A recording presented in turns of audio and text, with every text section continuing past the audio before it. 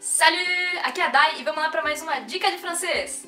Hoje eu vou te ensinar uma expressão que é muito utilizada na França, na Suíça, nos países francófonos e eu gostaria de te dizer que essa, essa expressão ela também é utilizada no Brasil. Então vamos lá. Essa expressão é quand on parle du loup. Quand on parle du loup. O que isso significa? Quando você tá com uma amiga tua, um amigo teu, e você tá falando de alguém e essa pessoa aparece do nada.